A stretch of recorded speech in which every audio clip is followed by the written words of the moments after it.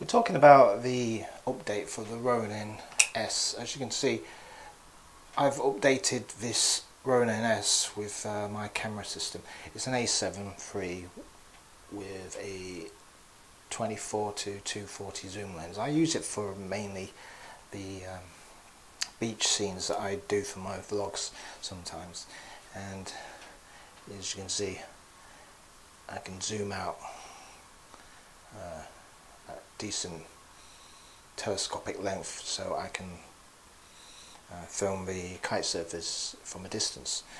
And that's one feature but uh, the, the added features now since the update is more brilliant than ever because now I can set this aside and I can use a Force Mobile which is a, a mobile phone connected by Bluetooth and I can control this gimbal with the phone just simply by just moving the phone up and down and it will interpret interpretate those movements for the gimbal hopefully making it smoother also here because you can see on top I've made a hot shoe mount. Basically it's a phone holder. Don't know if you can see that. With a cold shoe plate on the bottom. And that works together as I with a mobile phone and from there on you can just control this whole joystick with the phone and it's software for visually tracking somebody. Alright, you're watching me using my active tracking mode and basically I'm carefully moving side to side and hopefully it should be working.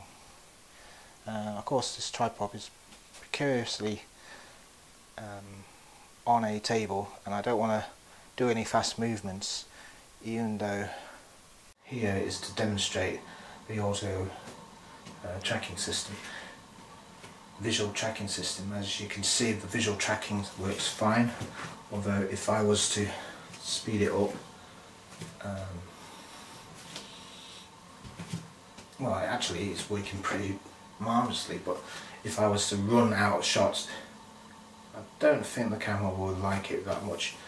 Uh, but otherwise there's two speeds on this uh, tracking. On the bottom right of the app as you select the um, subject there's a button there for fast or slow. I've selected slow and it seems to be working fine. So there's that but otherwise it seems to be uh, working pretty much okay. As you can see I'm walking along and as I walk out of shot you can see the camera going back and forth it seems to be working.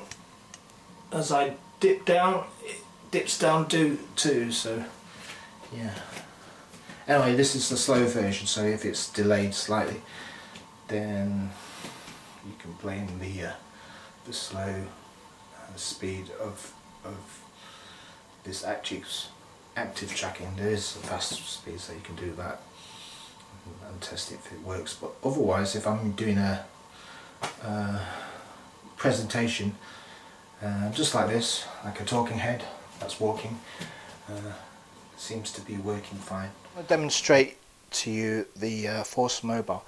If I go into the um, creative as, as, you can see create Force Mobile and then you get these options here uh, which is speed, smoothing enable force mobile.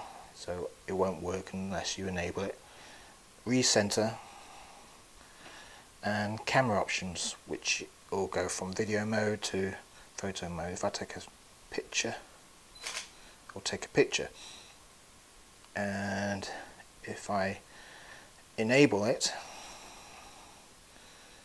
it will enable as you can see now um, you've got this speed settings will determine the speed of this gimbal. If I was you, somebody's actually uh, made a video where they've shaked this phone to the point where um, it toppled this whole gimbal system. And this gimbal is a bit top heavy. So if you're forcibly shaking this you're likely to damage your 2000 pound camera so I wouldn't bother um, do it smoothly do it sensibly. Um, anyway my settings here is about 36 30s 33 so yeah it kind of works. And then the smoothing I think it smooths out all the uh, the gimbal itself. So if you move suddenly it'll smoothly uh, ride out that momentum. I'm not sure. And additionally I put roll at zero but if you actually bring it up like so and turn it kind of works. If I recenter it take it off.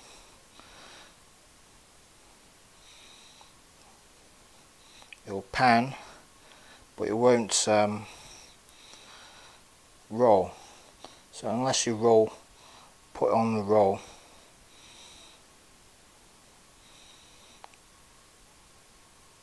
it will intentionally roll unless you uh, take it off it should be okay. Uh, which is a good feature actually. Anyway I hope that this demonstration uh, shows to you capabilities of the Force Mobile feature on the new updates for the Ronin S and hopefully inspires you to do something similar. Anyway see you on the next one. Cheers Goodbye.